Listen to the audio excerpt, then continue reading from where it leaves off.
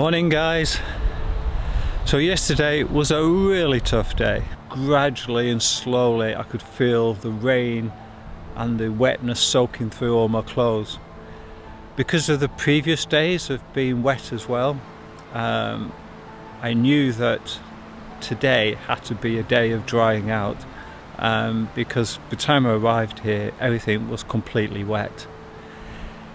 Anyhow, I as you can see it's not raining now thank goodness. Right I shall show you some of the devastation of all my wet gear and also a little bit about the surroundings of it right just hang on. So here you, you see all my gear scattered about um, drying out. The tent is completely empty now. I'm just letting the air circulate through it so help to dry it out. On the other side I have my rain gear. Yeah, so you can see here how I've just tightened that up onto the branch. And yeah, you can do that with obviously virtually all your rain gear or anything else. Um, in fact, the bags on my the bag tents have also got something similar, so they've been attached that way. The guidebooks, as much as I try to keep them, I mean, um, I think the best one is is this. it really is sudden. Um, yeah, I've got pages stuck together here. You can see it. Yeah, not great. Good job I've got it electronically as well, but the guidebook obviously is particularly helpful in terms of giving me background, telling me where the next toilets are, where I might get water and stuff like that. Um, so not great that all the pages are kind of stuck together. So I'm hoping they will dry out a little bit more. So Newborough Forest was originally a sand dune area. And in fact, these little hillocks that you can see, you can imagine them actually being sand dunes. And of course the great thing for me is that they've created quite a sheltered area for wild camping.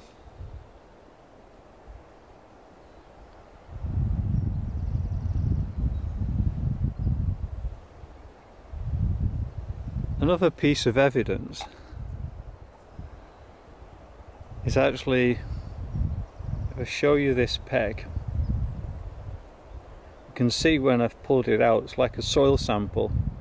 You can actually see how it, the sand is trapped there between the peg. It looks really beautiful this morning with the sun streaking through.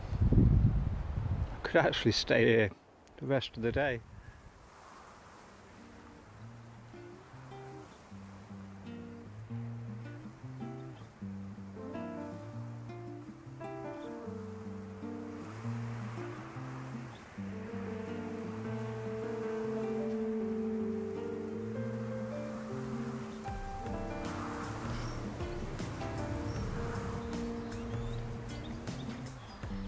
That's a good reminder that these pines are actually Corsican pines.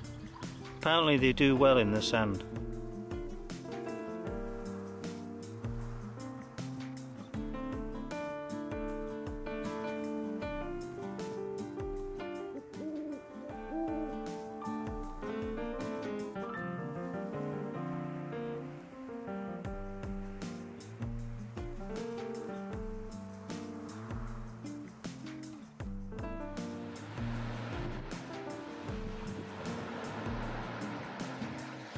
So we have the forest behind us and then this wonderful beach.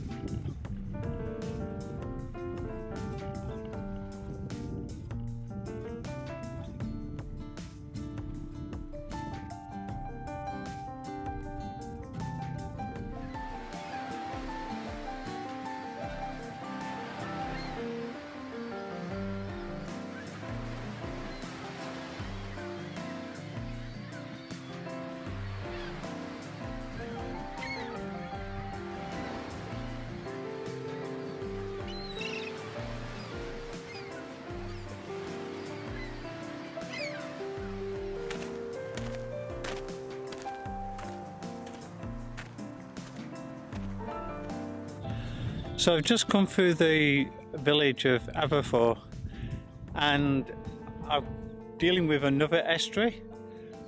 Now most of the estuaries that I've had to go along are really boring and mentally draining. However, this one's really beautiful and kind of got a beach obviously all the way along, obviously when the tide is out. And I'm really enjoying the distant views.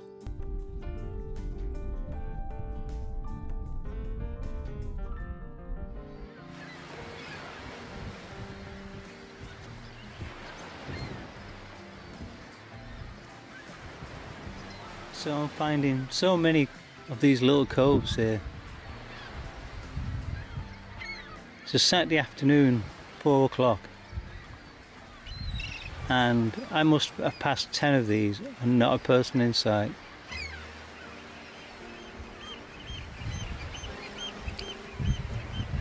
Life is tough when you walk the Anglesey coastal path and you have to take a break to dry some clothes.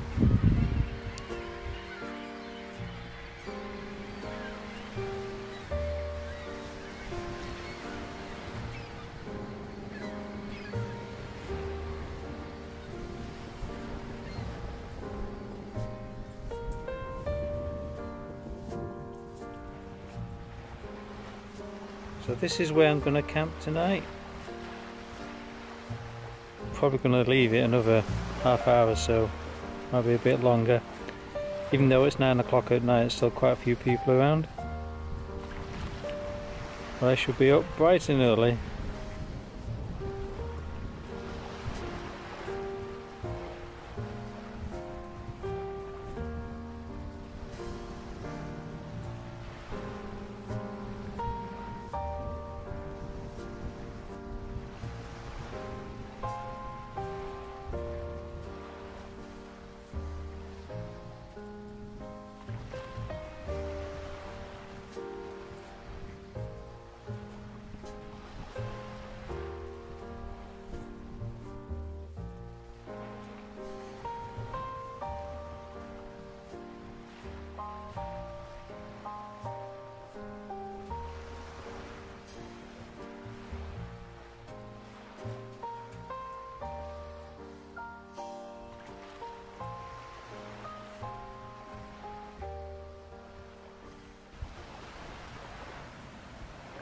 Morning folks.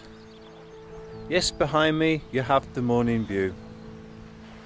So yesterday I did about 15 miles to bring me to 100 miles. So I've now got about 30 to do to get to the finish.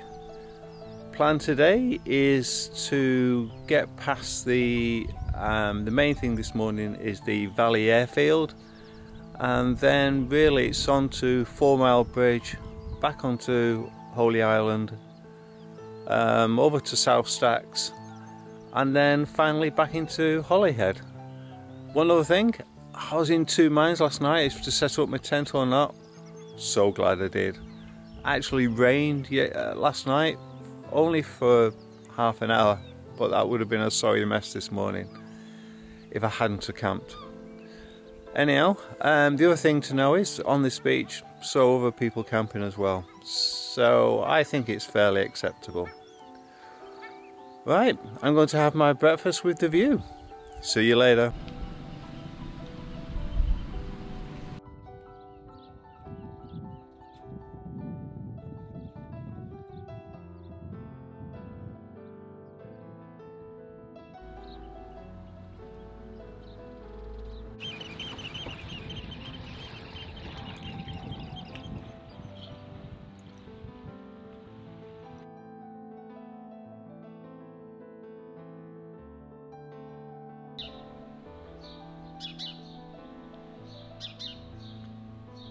So I found another useful mat. It's been quite some time since I've seen one of these. Um, so not this morning, but the previous day, I was actually here in Newborough Forest. So I had to go right round this estuary here, then back down here, up to Aberffraw, But then that actually had a beautiful estuary, best one I've seen yet. In fact, the only one I've enjoyed. Then along the coastline, all the way to Rhosneigr here. Now, today the challenge is um, getting below the RAF Valley up to Four Mile Bridge and then essentially you're coming down Holy Island round the south side of Holy Island round and I'm trying to get over to South Stacks hopefully um, by tonight and maybe leaving the last 10 miles to the following day. Yeah so that's the plan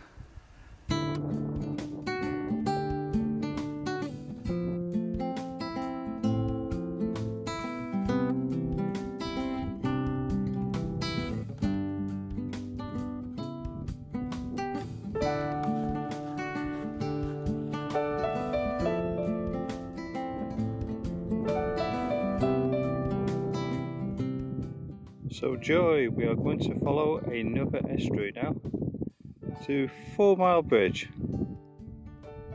Hell, I'm going to have to slow down now.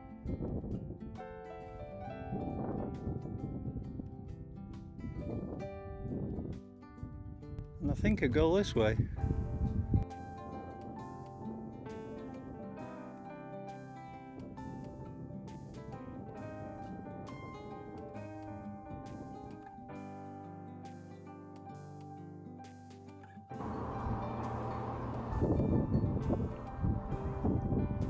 So this is Four Mile Bridge now, which I'm just crossing.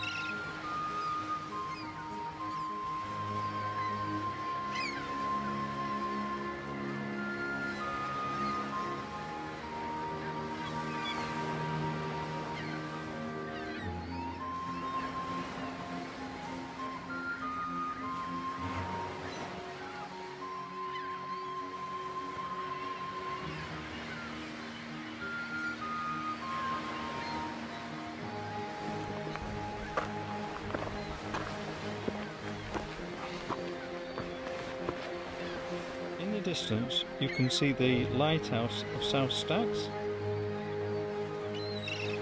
and over in this direction you can see the fog warning station of North Stacks.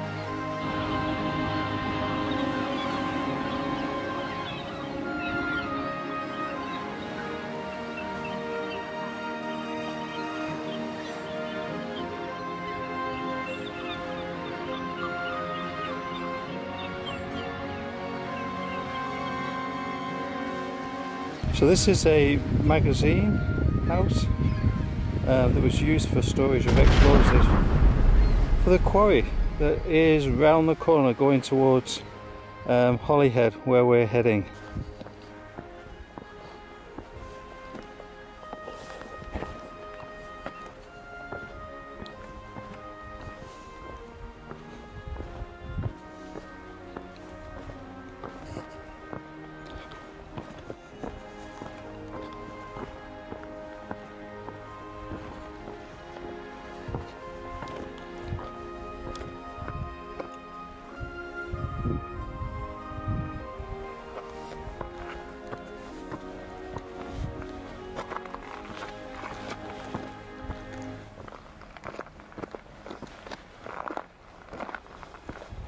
In the distance you can see the breakwater and the stone for that breakwater was quarried from this mountain.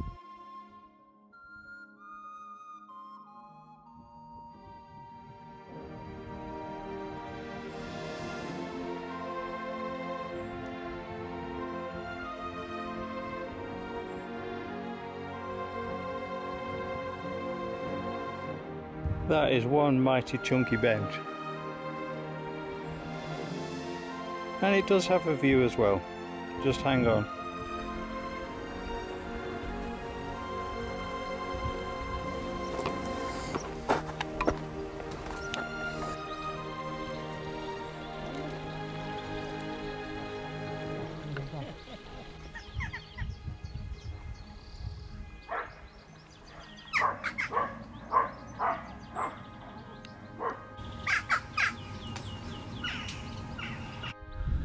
So my thoughts on the Anglesey Coastal Path. Overall, I think it's a great and wondrous path.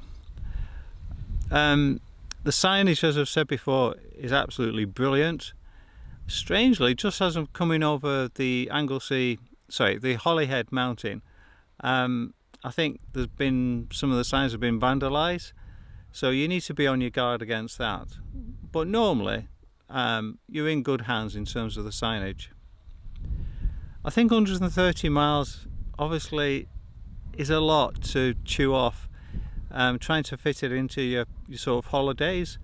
So obviously with two weekends and a, uh, a week in between you can get nine days out of it. And I think to maximize it you actually need all of those nine days.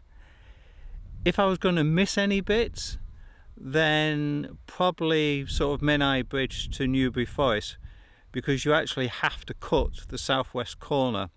You're not allowed around the actual coast because it's private land. And so that bit is a bit hard going and it's 20 miles. Also, I think the first 10 miles out of Holyhead, that's a bit tough as well. So you could you could make it a, more of a 100 mile route or do 100 miles of coastal path and you'd have a great time. So this particular path gets a thumbs up for me. Okay, onward we go. So in the distance you can see the mountain we've come down. Now we really are getting very close to Holyhead. What we have here is Soldiers Point Hotel. Although it was originally built in 1848 by the um, contracting engineer for the breakwater. So clearly he made a lot of money. I'll show you some more pictures as I get closer to it. But it is a bit derelict now because it burnt down in 2011.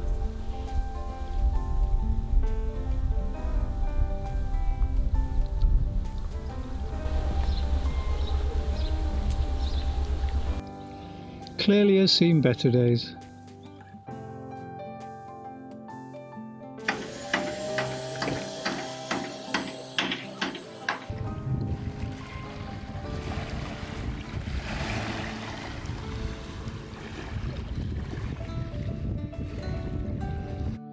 Breakwater. And of course, as I was saying before, the stone is quarried from the mountain we've just come down, and it's actually over a mile long when it was built, one of the longest in the world. Opened in 1873 and took 28 years to build and was opened by the Prince of Wales who was obviously the son of Queen Victoria.